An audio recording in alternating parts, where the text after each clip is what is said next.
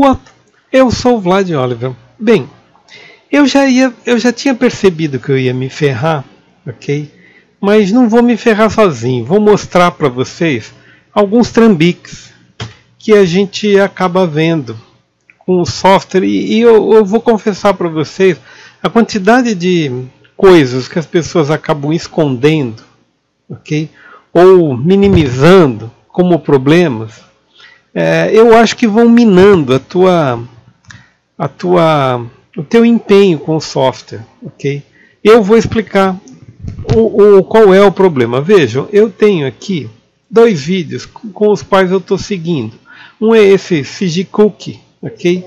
Que mostra, ele vai mostrando como fazer um monstro deles, ok? Só que aqui também, eu também estou seguindo este outro Learn Grease Pencil, ok? Que é um vídeo muito bacana, ok? E ele também mostra como fazer uma pintura, uma, uma, a parte de pintura, que é o que eu gostaria de fazer. Só que é um problema. E esse problema é o seguinte: ninguém falou em é, modificadores junto com o objeto. Ok? Aqueles objetos, aqueles, aquelas bases, aqueles personagens, eles não são de mirror, como eu fiz aqui. ok? E o que, que significa isso? Significa que as ferramentas não podem ser usadas no mirror. Agora, eu acho que era mais honesto as pessoas falarem, simplesmente falarem, porque não é um absurdo você imaginar que você vai fazer um desenho à mão livre e tal, não sei o que, não sei o que lá, e se você vai desenhar um personagem, que ele tem algum tipo de simetria, ok?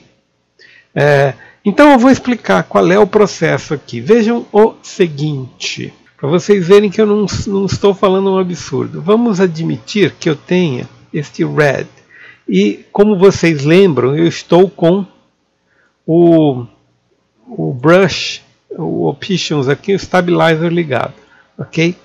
Então, o que, que eu tenho aqui? Eu tenho um stroke, ou seja, eu tenho a linha externa, como eu fiz aqui, e não tenho nada no fio. O fio está sólido e ele está recortado. Na verdade, esse, esse fio existe, ok? O que eu posso fazer é a mesma coisa que eu fiz, por exemplo, se eu vier aqui desligar o stroke, aham, e vier aqui e ligar o meu sólido, Ok? Ah, mas como é que eu ligo o sólido? Ligo o sólido fazendo isso aqui. Ok? Pronto, eu tenho uma cor. Esta cor representa o fio. A partir de agora, toda vez que eu desenhar, veja, ele vai me desenhar um fio. Ok? E esta aqui, este aqui passa a ser um material que eu posso usar como fio. Agora, há um problema. Qual é o problema? Vejam, é, o que eles dizem, o que dizem os nossos amigos é o seguinte: se você vem a, com a intenção de fazer um fio, reparem o seguinte, que vai mudar isso aqui. Quando eu vier para cá, eu tenho essas linhazinhas aqui. O que, que essas linhazinhas garantem? Elas garantem que se eu colocar aqui, ok? É, elas vão me garantir uma certa máscara do objeto, ok? De forma que eu consiga pintá-lo. Só que é um problema. Vejam só. A partir daqui, se eu vier aqui e der um fio, maravilha. Mas o que vai acontecer se eu der aqui um fio? Nada. Ok? E por quê? Agora eu volto aos vídeos e vocês vão ver que esses objetos não são simétricos, não há simetria. Portanto, a geometria não está aberta. Ok?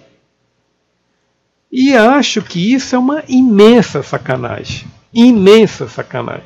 Como se faz para fechar essa coisa? Vocês vão dizer, ah não, é só vir aqui, draw, edit mode. É só vir aqui e opa, mudar aqui, ó. Veja, passar aqui e tal, não sei o que, não sei o que lá, você tem a coisa. Não tem. Se eu vier aqui, Object Mode, esse objeto não é considerado uma peça fechada, ok? Se eu vier em contrapartida Vamos lá novamente. Black.